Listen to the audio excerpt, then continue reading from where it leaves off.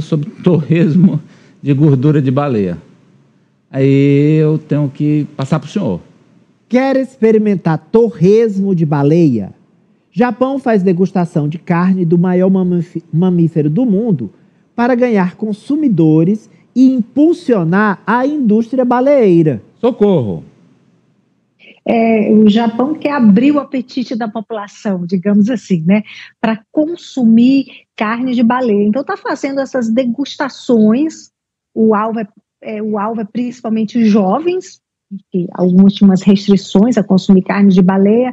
Então, eles fazem essas degustações e mostram vários tipos de cortes, várias partes da baleia, tem pedaços de coração, tem fatias da cauda, tem também pedaços de gordura que podem ser fritos, muita gente, o cheiro é insuportável, seria uma das restrições dos, dos japoneses, justamente seria o cheiro, mas o certo é que o Japão voltou, voltou com força total a investir na carne de baleia. Atualmente, os japoneses consomem entre de, um a du, de uma a duas mil toneladas de carne de baleia por ano.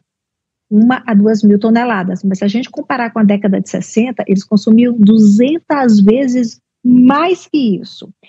Bem, esse ano o Japão começou a caçar, anunciou. O, o Japão sempre diz que faz parte da cultura do país, da cultura japonesa, caçar e consumir carne de baleia, apesar dos apelos dos ambientalistas. E em 2009, o Japão anunciou e voltou a caçar, voltou a capturar baleias comercialmente, isso em águas japonesas. E até então eles caçavam vários tipos de baleia. Ou este ano eles começaram a caçar a baleia chamada baleia fim, que é a segunda maior baleia do mundo. Ela chega a ter 20 metros, ela chega a pesar mais de 55 toneladas. Então, agora, a intenção do governo japonês é que os japoneses tenham mais essa fonte de proteína, já que a carne de gado, de frango, o preço aumentou bastante no país. Amadeu. O Ari já disse que passa, né, Ari? Um absurdo. A única coisa da baleia que eu uso, e eu só descobri recentemente, claro, é o cocô da baleia que é chamado pela indústria de perfumes de luxo de âmbar cinza. E segundo os especialistas, tem um cheiro doce, um cheiro que ah. inspira a sexualidade, afrodisíaco. E o âmbar cinza não precisa matar a baleia. Esse material pode ser recolhido na praia mesmo. Muita gente confunde com o vômito da baleia, mas é o cocô. Aí, ok, você passa um bom perfume francês, você está botando hum. um pouco de cocô de baleia em você. Mas comer a carne, não. Socorro, eu já vi documentário sobre a pesca da baleia, a caça à baleia. É uma das cenas mais deprimentes que eu já vi, é a morte de uma baleia. Ari. A perseguição e a morte de uma baleia. Ari, Diga, eu vou lhe dar um perfume eu com cocô pa... de baleia, com âmbar cinza, que é o nome mais chique, né, que usa. Eu quero lhe dizer que eu passo no torresmo e passo no cocô. Tu já usou perfume Profe... francês com o âmbar cinza e não quer, sabe. Quer comentar, professor Vila? Fique à vontade, professor. não, eu acho isso um horror, concordo com o Ari, né? Com tudo. E hein? a grande questão é, hoje você tem essa pesca, tem os organismos internacionais, muitos deles ONGs, é, que defende a proibição né, é, da pesca da baleia, e, e, tem a pesca clandestina. O nosso litoral, é bom lembrar, um dos maiores do mundo, a Marinha Brasileira não tem o mínimo controle, não é porque não quer, é que não tem condições né, materiais de controlar, por exemplo, o litoral brasileiro, que está aí ao Deus dará, está cheio de pesca clandestina, especialmente ali, ali no litoral entre o Rio Grande do Sul e Santa Catarina. Eu também concordo com a é uma coisa pavorosa, um verdadeiro horror. Estamos de acordo, Apoliana?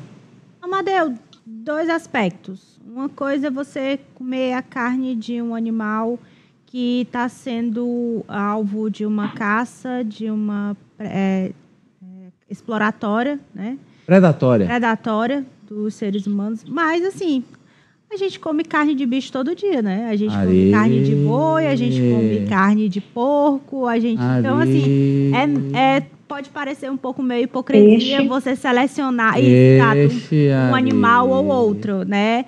As, Peixe não é mamífero, é bom lembrar. É, a mamífera é da minha própria espécie. Ah, então, é, assim, a gente tem que analisar os aspectos, né? Então... É, Francis, a talha e Amadeu, o mundo já está tão desequilibrado, ainda querem mexer mais no meio ambiente, caçando baleias, e as cenas realmente são dantescas, eu também já vi, assim como o Ari, então eu não apoio não e nem comeria. Socorro Sampaio. Você quer... Bom final de semana. Você não quer fechar, não, Socorro, sobre as iguarias? Não, é só para dizer, Amadeu, que o Japão tem um terreno, tem muitas montanhas, tem pouca terra cultivável, quase tudo que eles comem vem do mar, tem que vir da água, tem que vir do mar.